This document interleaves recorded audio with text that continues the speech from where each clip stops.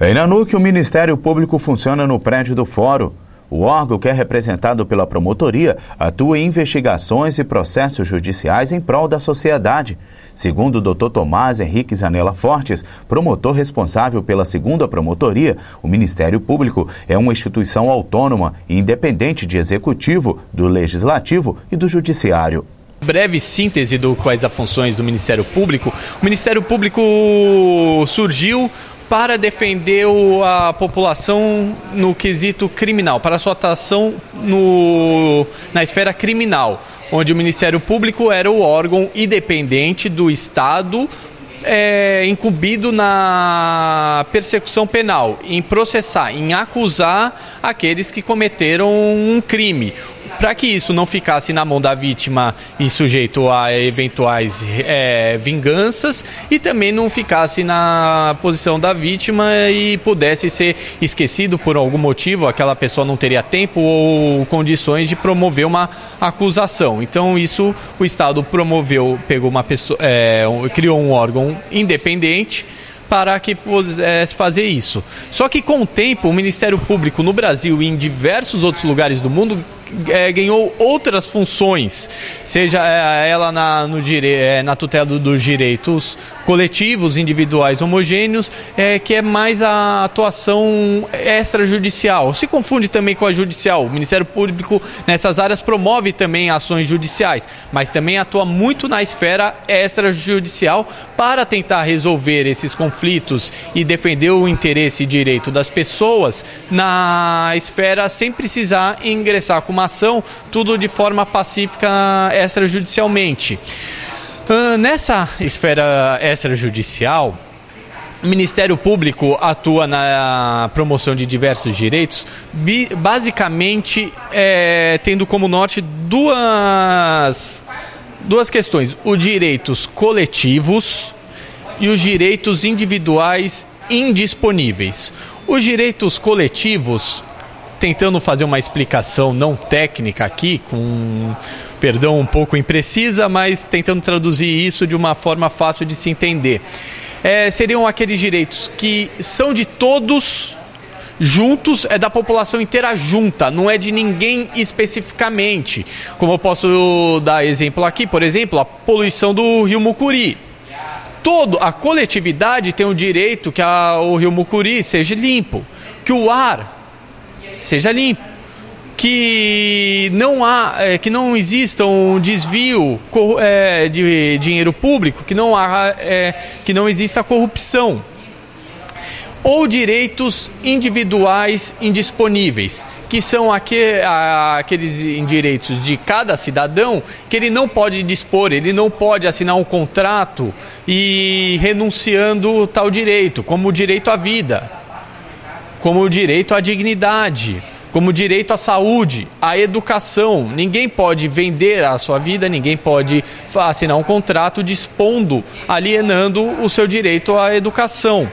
O Ministério Público é um órgão fiscalizador e, por isso, tem a função de investigar o poder público e privado em diversas áreas. Explicando a atuação nessas diversas áreas, o que, que o Ministério Público pode ou não fazer.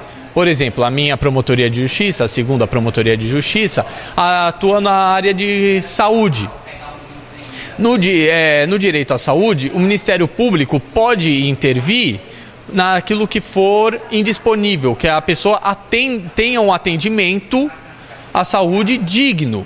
O lógico, nós não somos a Secretaria de Saúde, nós não marcamos é, consulta, nós não operamos ninguém, não marcamos cirurgias e não fornece, é, fornecemos medicamentos aqui. Mas, se a Secretaria de Saúde, a farmacinha ou o hospital não estiver prestando o seu serviço adequadamente, o cidadão pode procurar o Ministério Público, que nós vamos tentar resolver isso com o Estado e, em último caso, entrar com uma ação judicial para garantir o direito da pessoa a ter um medicamento a ter, um, a ter uma cirurgia, a ser realizada uma transferência, principalmente naqueles casos em que o cidadão não puder fazê-lo por si próprio. O, no direito ao consumidor, novamente, o Ministério Público pode atuar no direito coletivo. Ele não pode pedir o reembolso de dinheiro para ninguém, porque isso é um direito disponível. Mas ele pode atuar numa propaganda abusiva, numa prática comercial abusiva que esteja acontecendo por determinado, determinado comércio da cidade e que estejam a atingindo todos os, é, todos os seus cidadãos. O, de uma maneira geral, educação. Também entramos aqui numa área que não é só coletiva, como indisponível. O, diariamente, semanalmente, atendemos aqui casos em crianças que não conseguiram é, vaga em escola, creche, oficiamos o município para, em último caso, entramos com ação para que seja garantido o direito à educação, é, ao direito ao transporte escolar também. O, nessa área, por ser indisponível, é, indisponível, podemos atuar também nesse sentido. No, na proteção da, da criança e do adolescente também, atuações é, coletivas onde é, para proteger o direito das crianças e do adolescentes, combate ao acesso ao álcool, a diversas coisas, podemos atuar nisso.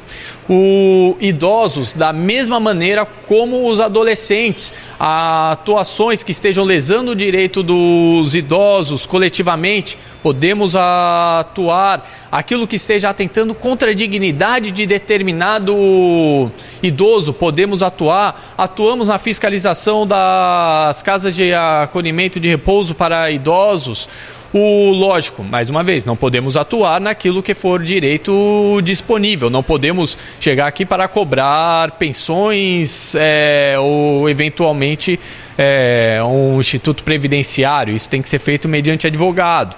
O deficiente, deficientes físicos, a mesma coisa do, a, da atuação do idoso e da criança e o adolescente.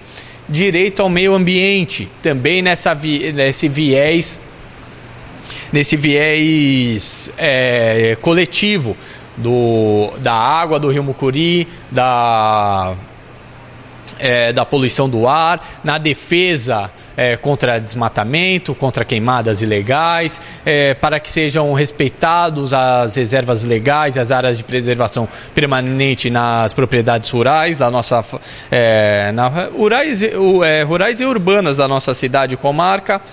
Patrimônio público, também a mesma coisa. Somos agente de fiscalização e combate à, prática de ilegalidades na área do patrimônio público. Habitação e urbanismo, a mesma coisa. Temos o dever de fiscalizar e a atuar para que não sejam realizadas construções ilegais, que as construções da cidade obedeçam às leis vigentes, sejam elas municipais, sejam elas federais.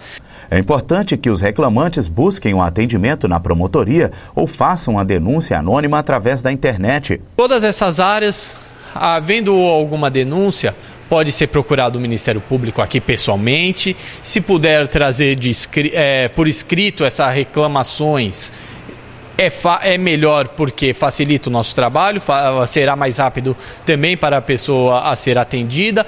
O, se não puder vir aqui pessoalmente, na internet, no site do Ministério Público, na ouvidoria, é, pode ser feito isso pela internet, lá não é preciso sequer se identificar, pode ter a opção de ser feita uma denúncia anônima, uma reclamação anônima vai chegar aqui para nós. O que nós pedimos é que sejam também feita uma questão, precisa ser indicada qual é a irregularidade concreta. O, nós não temos estrutura e nem é o nosso papel fazer uma. É, fazer a controladoria, o controle da geral e abstrato da administração pública, sem fatos é, marcantes. Por exemplo, vou dar um exemplo aqui da minha área do patrimônio público.